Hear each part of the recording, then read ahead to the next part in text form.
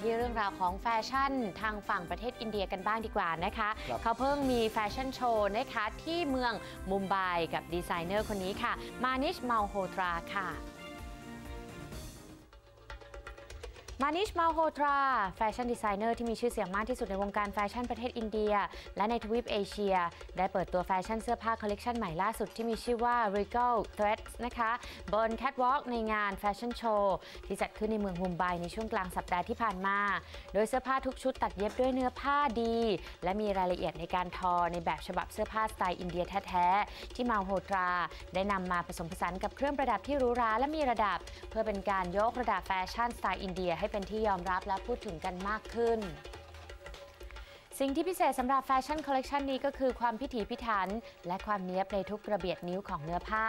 เนื่องจากเสื้อผ้าทุกชุดเป็นการตัดเย็บแบบ handcraft โดยไม่มีการใช้เครื่องจักรหรือว่าอุปกรณ์ในยุคดิจิทัลเข้ามามีส่วนในการผลิตเลย โดยบอลิวูดสตาร์นะคะอย่าง อาทิตยารอยคาปู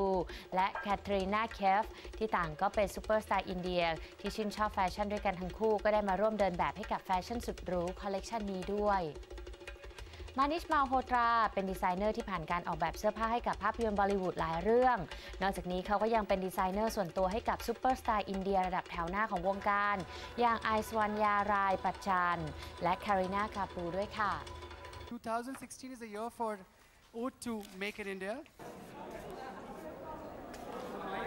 So it's always lovely. Yeah, it's a pleasure to work for him. So uh, มากันที่ทางฝั่งนักแสดงนะคะอย่างออสการ์เหลียงค่ะ แห่งทีวีบีนั่นเองค่ะ ตอนนี้ก็เข้ารับการผ่าตัดดวงตาที่โรงพยาบาลเรียบร้อยค่ะ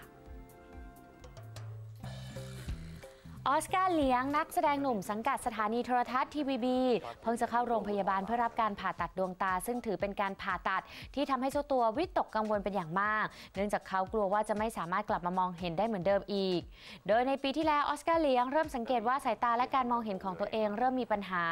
ซึ่งก็น่าจะเป็นปัญหาทางระบบสายตาแล้วก็เยื่อบุตา แต่ด้วยคิวงานที่แน่นเอียดจนแทบจะไม่มีเวลาทำให้ออสการ์เลียงไม่มีเวลาเข้ารับการผ่าตัดในช่วงเวลาที่เหมาะสมส่งผลให้อาการทางสายตาเริ่มแย่ลงเรื่อยๆ จากการวินิจฉัยของแพทย์พบว่าออสการ์เหลียงเป็นโรคเกี่ยวกับเยื่อชั้นในของจอประสาทตา ซึ่งก็พบได้มากในผู้ป่วยที่มีอายุระหว่าง 20-50 ปี โดยต้นเหตุนะคะก็มาจากความเครียด การสูบบุหรี่จัด โรคนอนไม่หลับ และการดื่มเครื่องดื่มที่มีคาเฟอีนมากเกินไป